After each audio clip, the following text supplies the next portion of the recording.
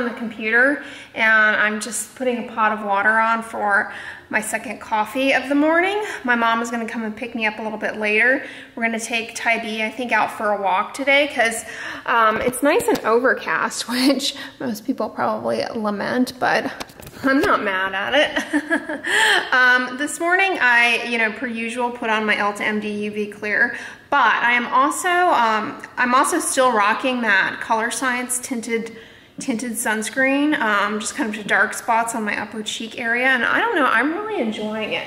But um, one thing that I um, am trying out as well um, and have been using and liking and will be reviewing for you guys later this week is the Supergoop. I've used this before actually. Um, I can't remember when, but I'll just come over here and talk to you. Yeah, so it's this Supergoop um, eye cream with oat peptides, whatever, you know, like you don't really need a separate eye cream, as I've said before. Honestly, I mean, just putting your sunscreen under your eyes is more than adequate. This, like the Colorescience one that I'm using, has a little metal applicator doohickey. This is a mineral sunscreen, a mineral sunscreen just like the Colorescience one. This one isn't tinted. I believe they have a tinted one as well, um, which gives you the iron oxide. So that is, here we'll just, we'll just situate you. I'm wearing my little camera necklace here from Rosavilla. So yeah, that's, that's just a little difference between the Supergoop one and the one that I'm using from Colorescience. The Supergoop tinted one, however, has methyl isothiazolinone in it, which is a preservative. That is fine, but if you're allergic to it, just be aware of that um, and avoid it. The Colorescience one, however, does not have methyl isothiazolinone in it. The other product from Supergoop that I just um, opened up and have started using is the Shine On. Can you see this? the Shine On Lip Screen. I haven't put it on today, but let's just do a little, let's just do a little tote test here. Um, it's really, I'm on the fence about the applicator. Um, it doesn't bother me, but I feel as though it's one of these little doohickeys like a lip gloss. I feel as though some people will not like this just because I think a lot of people have um, have pause whenever they see this putting on the lips and dipping back in. I mean, it makes people squeamish. There are preservatives in here and things like that, but you never know. So, but I really like this a lot as far as a lip gloss. I mean, it goes on, goes on shiny just like a lip gloss. And you know, it's touting itself as having grape polyphenols in it or whatever. This is this is a chemical sunscreen. It's got avobenzone in it, and I always thought that chemical sunscreens and lip lip products irritated me, but this one doesn't for whatever reason. I've been enjoying this a lot. Um, it stays on, it's not drying. I tend to have cheilitis or dry lips because of my background of eczema, and that does not bother me whatsoever. We're getting in some more coffee. Got my beauty dust here.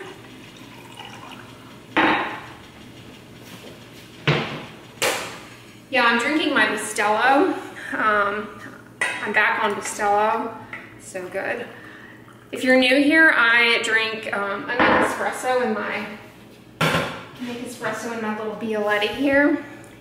And I pour it in with a little beauty dust.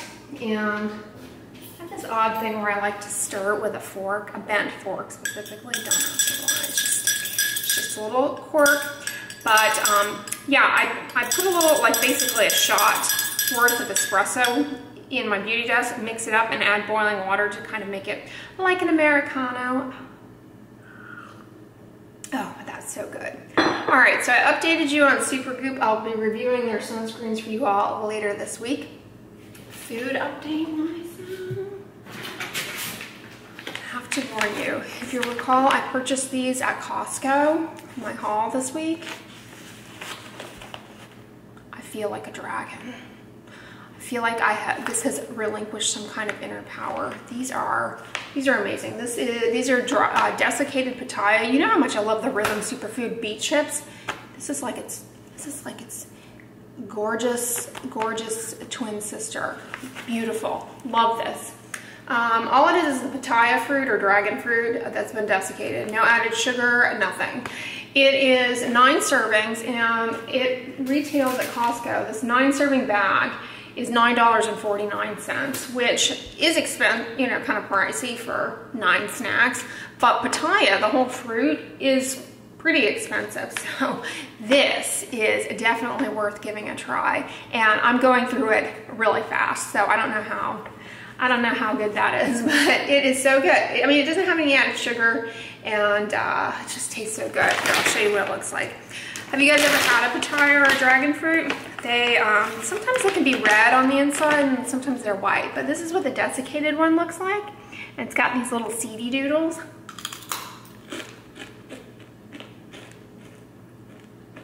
Really good. Um, you know, I'd like to pretend that I'm doing something jazzy with that, but I'm really just eating it out of the bag. But I did try, I did try putting, putting some in a smoothie bowl and it kind of gets a little soggy and reconstitutes a little bit. sounds disgusting, but it's quite good. Oh God, what would I be without you? What would I be without you? Oh, but one other, one other iHerb update. This is so awesome. Okay, you'll recall I purchased this on iHerb. This is the Taste of California Gustus Vitae. Really tasted California here with Beauty Dust. Beauty Dust comes from Los Angeles, so it's a fab. Um, but you'll recall I purchased this um, from iHerb and I was drawn to it by virtue of the by virtue of the tin, right? It's got a it's got a magnet on the back, so you can you can line these up. They, they have many different types of spices. This is the one that I got. It is really good, tastes really good. Strawberries, lemon peel, cilantro, thyme. It's kind of like a dry rub seasoning. It has no added salt, really good, but the packaging is brilliant, okay? Not only is it in this little metal tin that you can store, um, you know, on, on a magnetic strip, that is you know, completely opaque so no light can get in and degrade your spice. But I didn't even notice this when I, when I took it out of the box. When you rotate the lid, you, ha you have sprinkle opening when you rotate the lid and you have Biggie Mouth. How cool is that?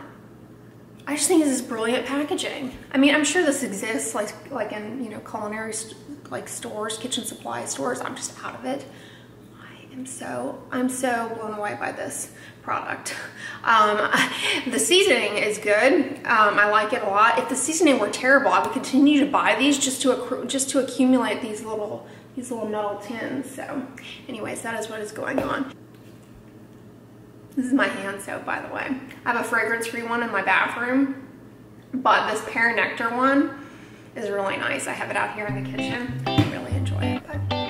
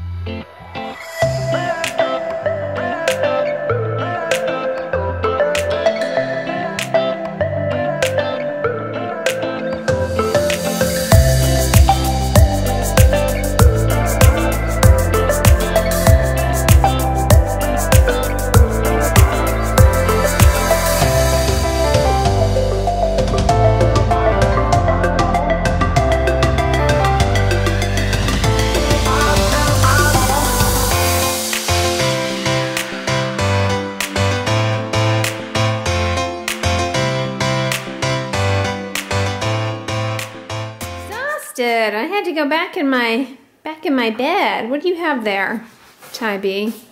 What is that that you're chewing on? Is that a is that a bone? You got a little chewy bone?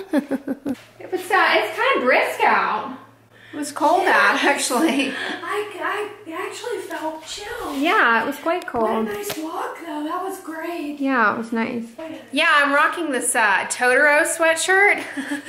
Never thought I'd be wearing wearing a sweatshirt in. It's perfect for today. Yeah. Yeah, it matches my. He matches my socks. so. Speaking of the uh, the devil Totoro, I've got quote my mom's mug here that I drink out of when I come over here, her Totoro cup, and I just brewed up uh, some of the Yogi um, skin detox tea. Love is the ultimate law of life. it looks like you're you're getting ready to steam some asparagus.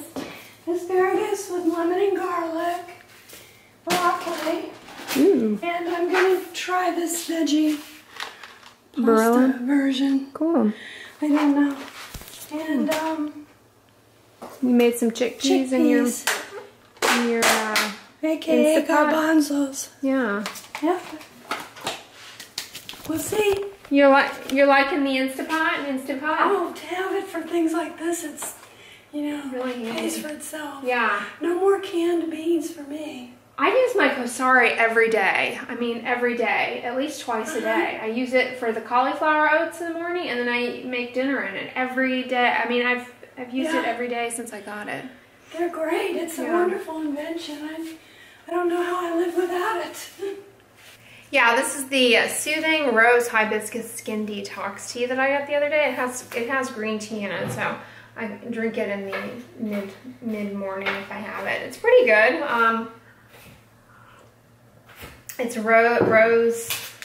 What's, in this? Green tea, rose petal, honey bush, hibiscus flower, red clover leaf, rose flavor, pomegranate flavor, cardamom, barberry root, orange peel, burdock root, dandelion root. My goodness, they put the whole garden in here. And or what is organic yellow dock root? And then stevia. Hmm. Pretty good. Tybee got a new got a new bed. It looks like. He did. He need, this is his little nursery over here. What's that dragon? That's cute. Well, he had to go to the vet and he needed to get a treat for being a good boy at the vet. Yeah, I agree. He got his shots. Yeah, he got his last round of shots. Last round of shots. And he weighs 7.6 pounds. You're growing every time I come over here. He's a big boy. I dare say some of those uh, geese were larger than 8 pounds. Oh yeah. Yeah, they had some really big ones over there. Tybee wasn't afraid. Geese and, uh, Geese and what? and ducks. Yeah, the ducks were cute. Don't worry, not as cute as you. Oh, nobody's as cute as Oh, that looks delicious. You got your This is mine. noodles. Asparagus, tomato, garbanzo, Primavera. lots of uh, pepper. Yeah, Looks I'm delish. excited about this. Looks In fact. I'm so excited. I'm not even going to wait for you. That's rude. Yeah, I have it? to put together my, my lunch. All right, so I made myself a head-sized salad. I have a um, head of romaine lettuce here, and then I just topped it with some of my mom's uh, primavera pasta here and chickpeas. I put some mushrooms on. These are some steamed carrots. Um, this is a Triscuit, uh, lem Thai basil lemongrass Triscuits. Um, let me check. Yeah, ginger, Ginger and lemongrass. lemongrass. I wanted to try it. favorite Triscuit. You like those? I Yeah, love They're very good. Yeah. This looks good. How's the pasta? I love it. You liked it? Did you, uh, did you get some? I haven't tried any yet, Oh, yeah. okay. Got to protect um, Totoro with Classy here. Dinner time. Just having his dinner there. Um, good news, we uh, just got back from looking at um, what I think is the final apartment. So I think I have picked picked the winner. So stay tuned, summer 2018 for my new uh, new location. but um, anyways, I wanted to come back to this Supergoop um, eye cream with oat peptides. Um, you know, I mentioned in my um, peptides and skincare video uh, that colloidal oatmeal and oat-derived peptides can actually be helpful as moisturizers. And colloidal oatmeal is something that has been used um, in eczema therapy for a long, long time and is a common ingredient as a good moisturizer, has been really shown to help restore the dry, impaired skin barrier of eczema inflamed skin. Colloidal oatmeal is basically ground up um, oats, um, and it's ground up in such a way that uh, the individual particles are um, within a certain size parameter, really, really tiny, like smaller than 75 micrometers.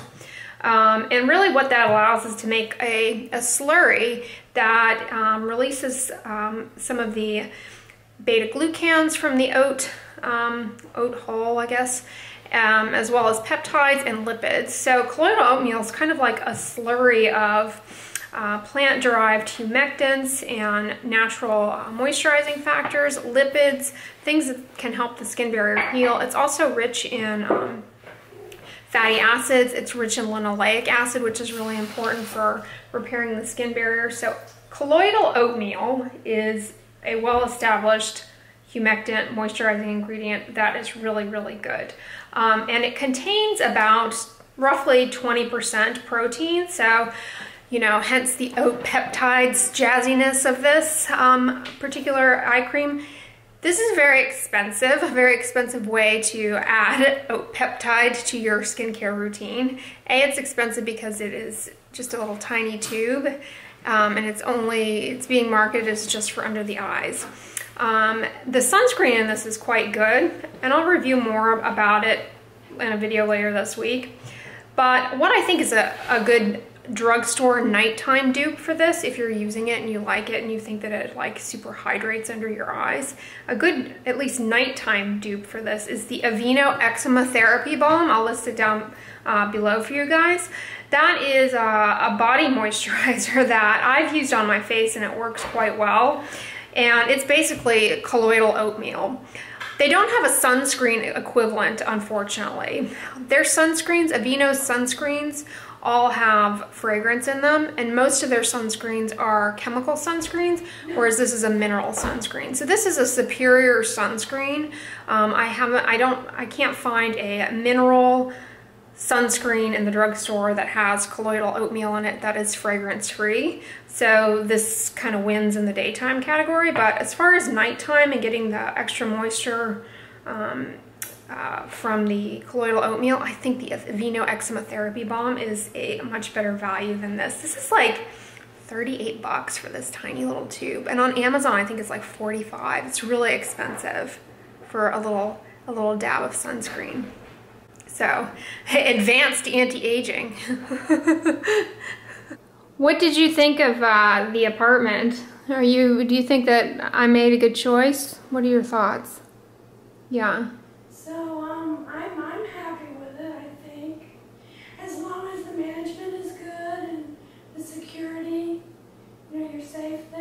Seems to be. I'm glad you. Yeah. Did you sign the lease? I put my application in and I was approved right away. So I'm more or less on, you know, I'm more or less there.